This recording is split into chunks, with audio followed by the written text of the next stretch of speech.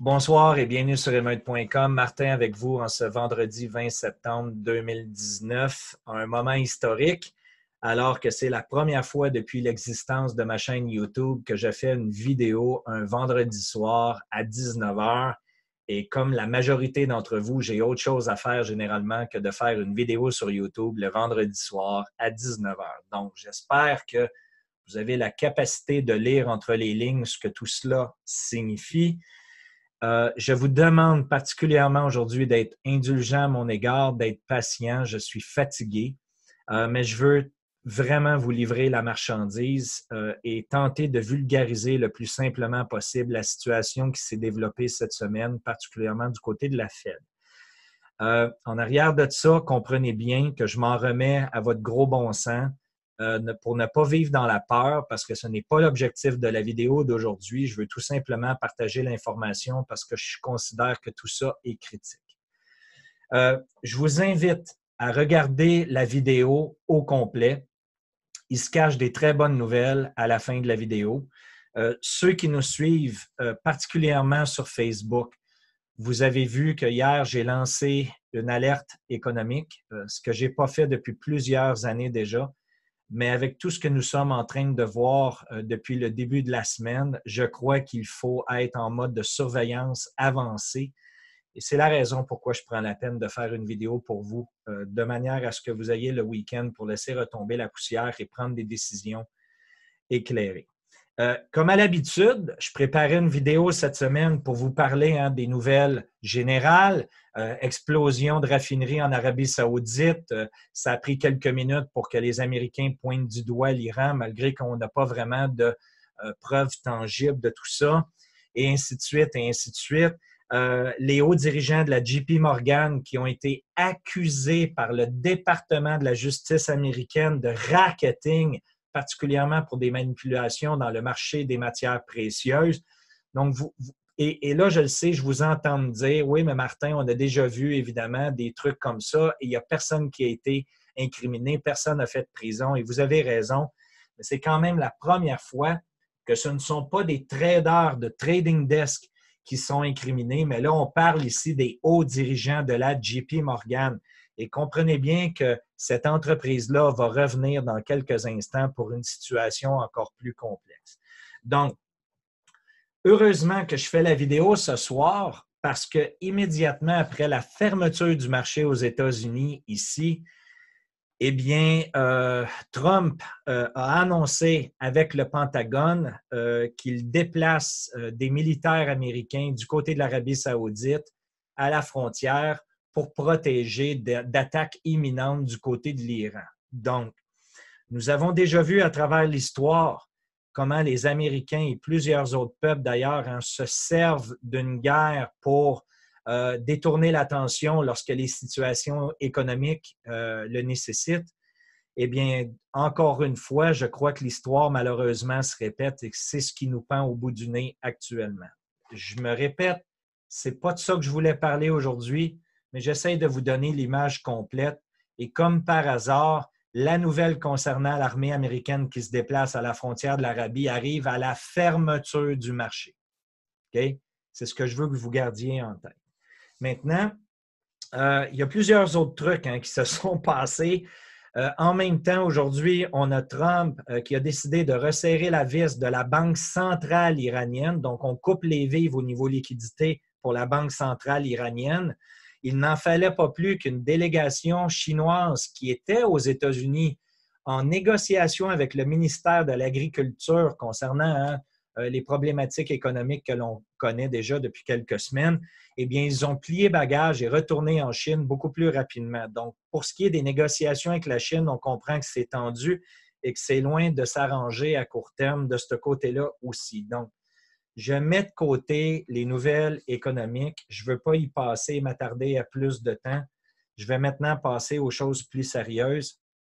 Et je vous invite encore une fois à écouter attentivement les informations.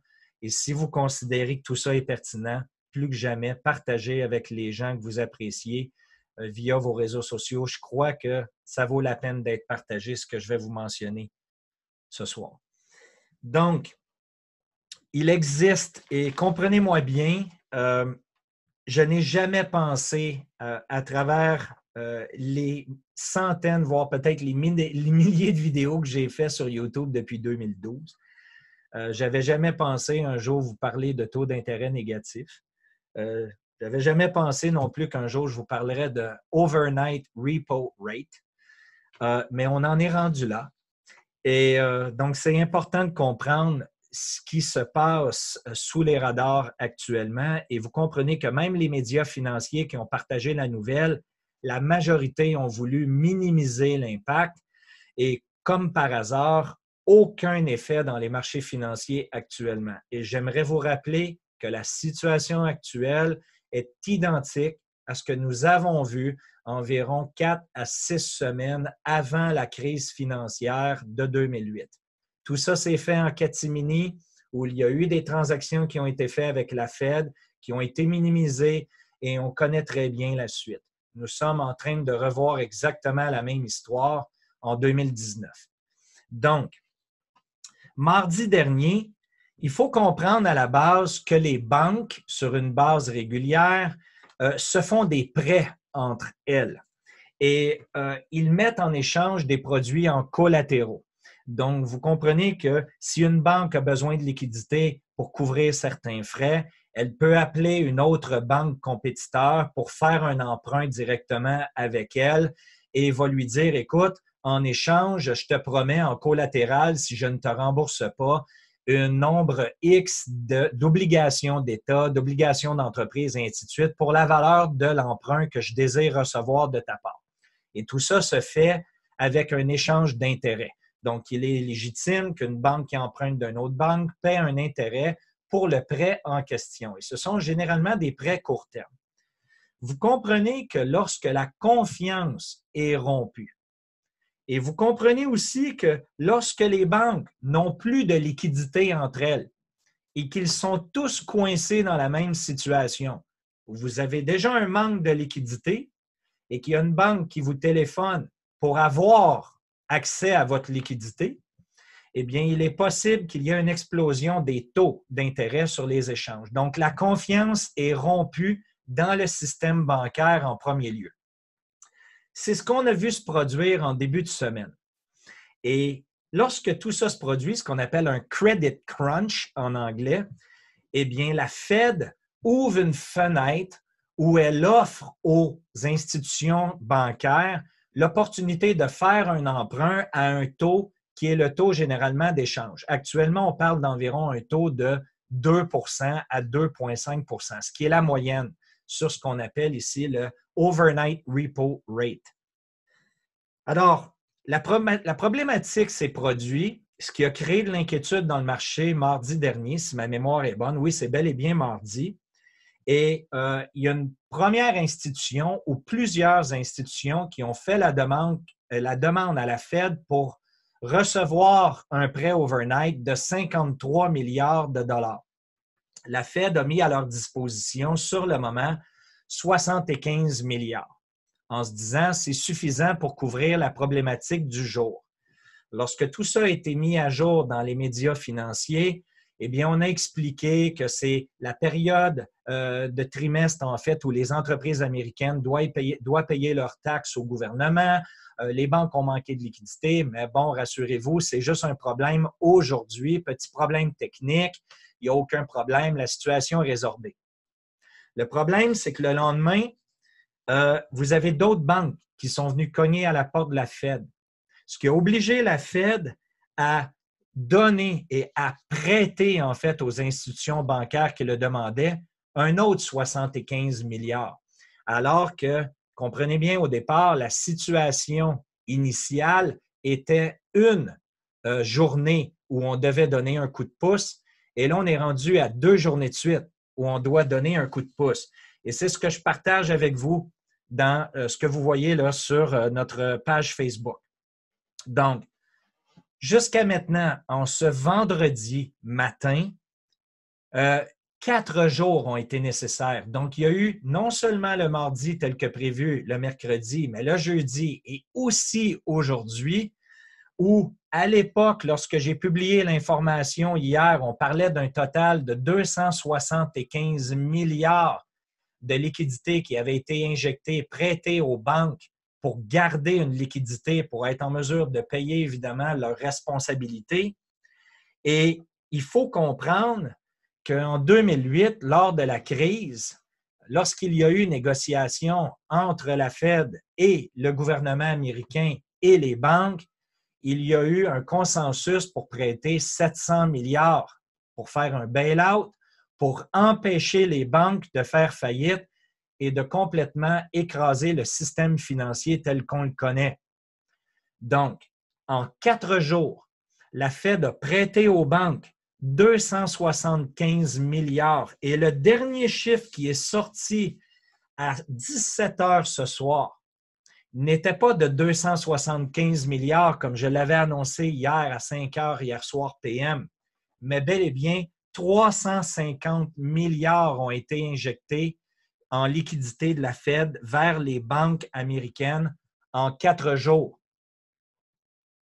J'espère que vous comprenez la situation dans laquelle le système financier se trouve actuellement.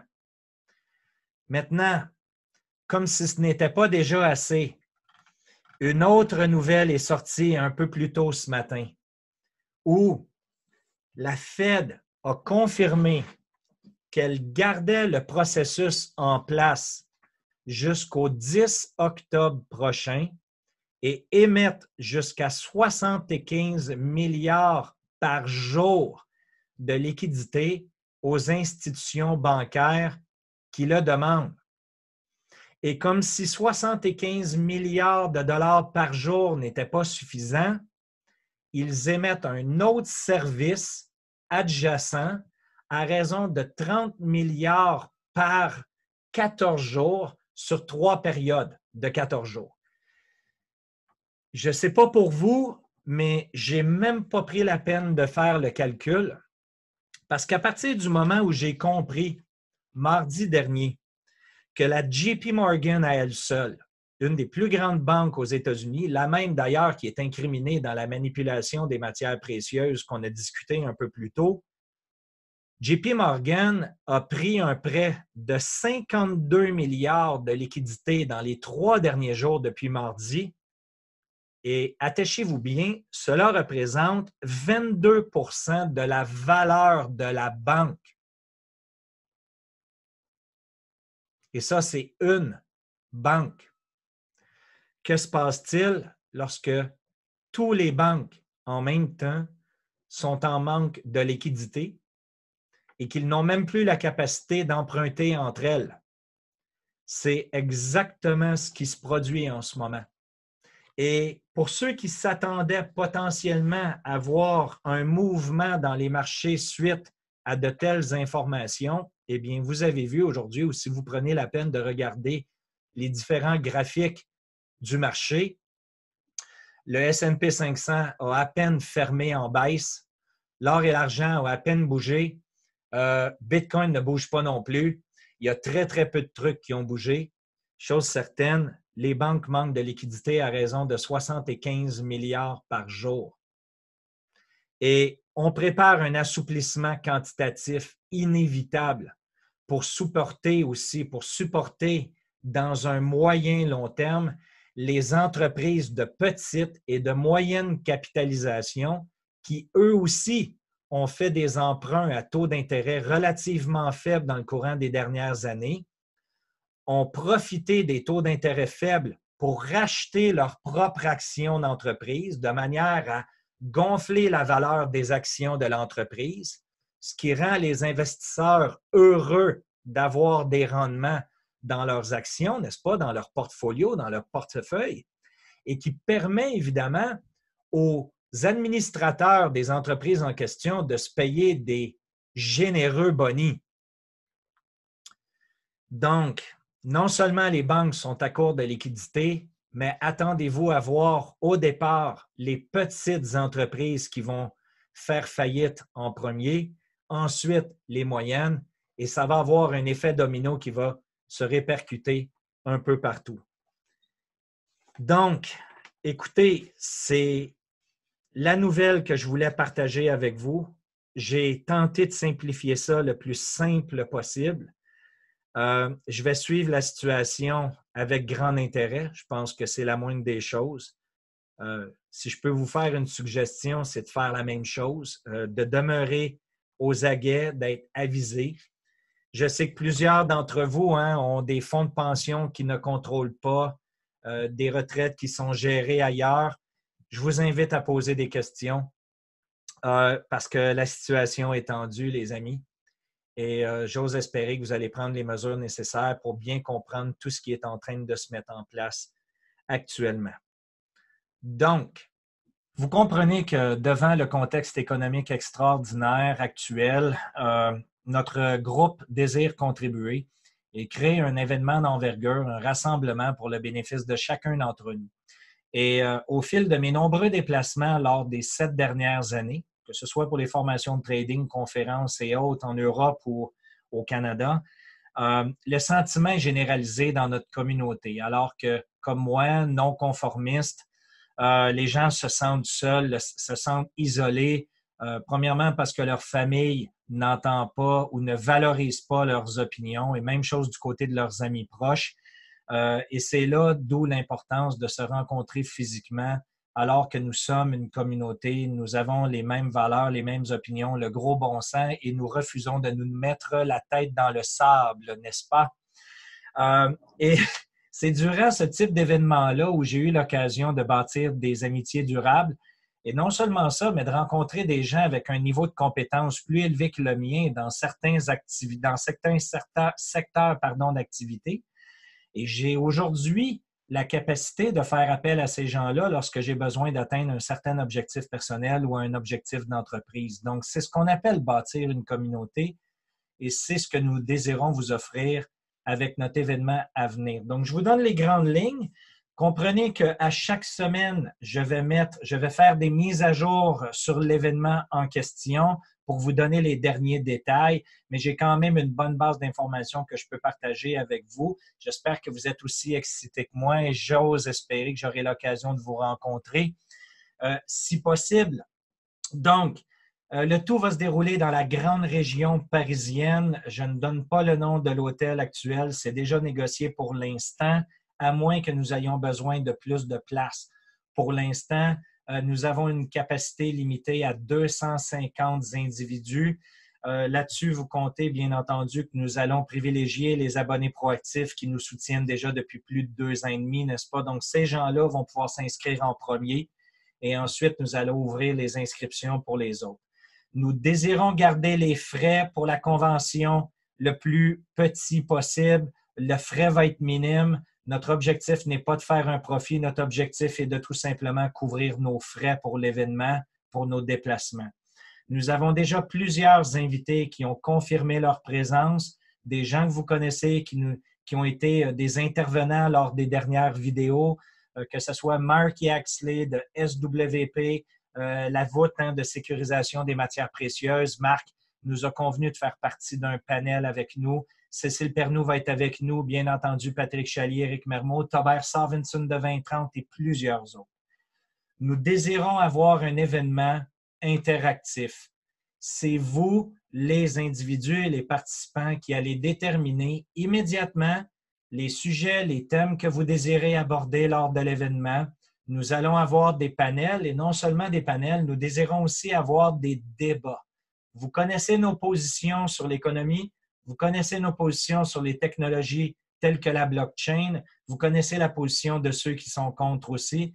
Pourquoi ne pas en profiter pour utiliser vos réseaux sociaux, invitez-les. Ça va nous faire plaisir d'ouvrir nos portes pour qu'on puisse discuter tous ensemble de ce qui s'en vient. Maintenant, des sujets qui peuvent être discutés. Et encore une fois, nous allons vous laisser le choix des thèmes à être abordés. Notre objectif et de laisser aux participants le choix de la convention en soi et nous allons tout simplement structurer les événements en considérant ce que les gens demandent.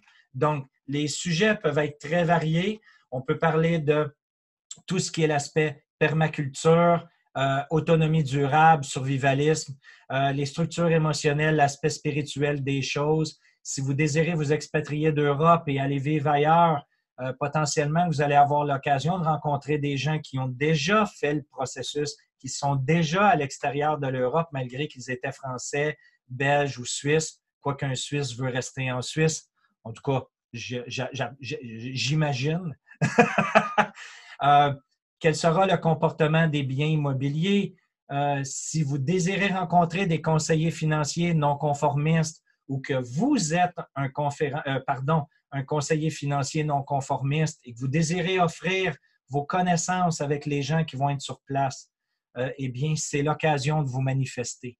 Donc, dans, dans la zone des commentaires de la vidéo YouTube, allez directement sur notre chaîne YouTube, dans la section des commentaires, premièrement, faites-nous part de votre intérêt alors que les places sont limitées. Nous avons déjà négocié des forfaits à rabais pour les chambres d'hôtel et nous aviserons bientôt de où tout cela va se dérouler, mais l'accès est relativement facile. Vous me connaissez, n'est-ce pas? Euh, à travers ça aussi, donc, on parlera de blockchain. Il y aura plusieurs sujets qui seront couverts. C'est à votre discrétion. On écoute ce que vous désirez et nous, on va le structurer pour le mettre en place. Si vous avez des suggestions, des commentaires, n'hésitez pas à nous les faire parvenir. Et au fil des prochaines semaines, nous allons avancer dans le projet dans le but de vous donner un maximum d'informations. Et dans le fil des prochaines semaines, nous allons ouvrir les inscriptions en bonne et due forme avec les liens pour pouvoir y accéder. Et vous comprenez que ce sera premier arrivé, premier servi. Donc, le tout se déroule, débute par un cocktail le vendredi soir, le 24 novembre prochain, et ça se terminera le dimanche soir, euh, pardon, le vendredi, le 22 novembre prochain, cocktail, et ensuite on termine la convention le 24 au soir, le dimanche, pour que les gens puissent retourner à la maison. Tenez-vous informés avec notre infolette gratuite et je vous donnerai plus de détails sur la convention à venir la semaine prochaine. À bientôt, bon week-end, bon courage. Salut tout le monde. Bye bye.